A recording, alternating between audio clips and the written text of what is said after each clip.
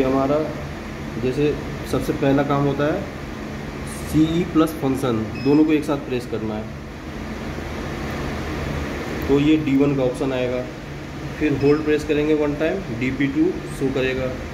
फिर hold press F hundred show कर रहा है। एफ़ हंड्रेड शो करने के बाद zero press one time then T press four time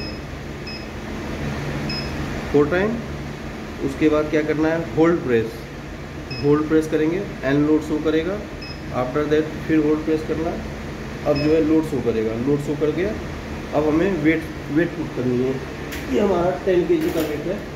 हमने पुट कर दिया टेन के का वेट टेन के का वेट पुट करने के बाद फिर से होल्ड प्रेस करना है.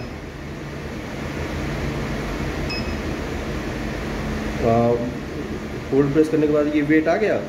अब उसके बाद क्या करना है हमें कि ज़ीरो प्रेस करना है। ज़ीरो प्रेस करने के बाद tare press three time. One, two, three.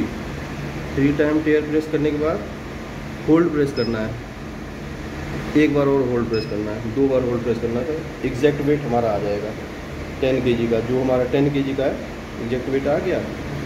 अब इसमें ये हमारा फुल कैलकुलेशन हो गया। बड़े वाले कांटे का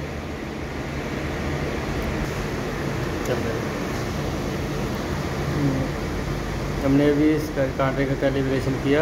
I one one six weighing indicator ये कैश का है। ये सारी की है